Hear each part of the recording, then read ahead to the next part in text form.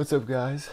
I um I just decided to come on here and make a quick video because of uh something gave me an idea. I was just on my computer and uh I just had this idea. Uh, I wasn't planning on making a video today, but this is something that I've been seeing a lot of recently in the uh, this whole community of self improvement and whatnot.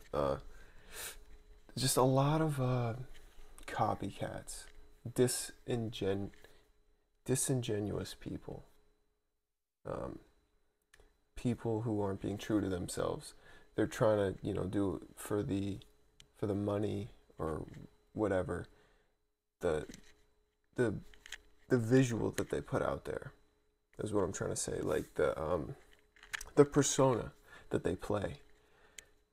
it's so funny to me because this guy popped up on my YouTube right here on my computer, and uh, he's copying one of like the top guys in the space that you know recently just popped off, and it's so funny to me because he copies everything he does down to like a T, but it it just made me want to come on here and tell you guys that you have to be genuine, especially if you're doing something like social media people can see right through the bullshit. like all the comments are calling them out.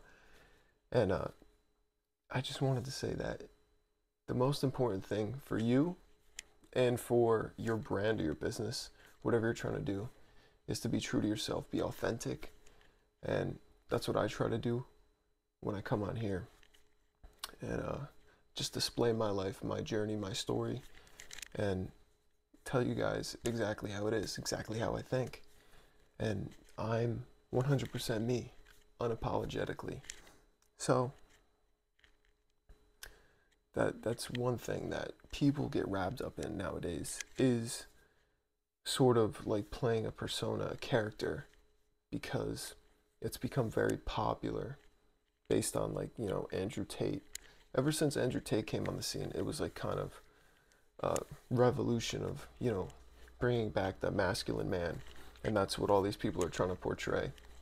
Which, you know, there's nothing wrong with that, but when you're trying to sell something, there comes a point where you can't hide behind a false sense of uh, an image that you're portraying online.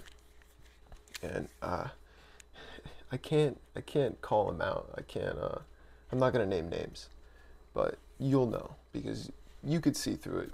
People will smell the bullshit on you.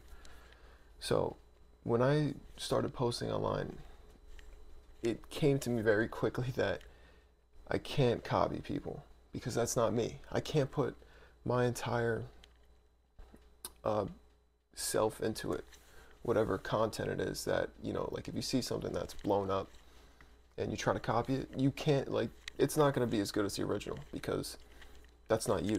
That's not your story. That's not your content that you make. So when I come on here, just know that I'm speaking from my own experiences.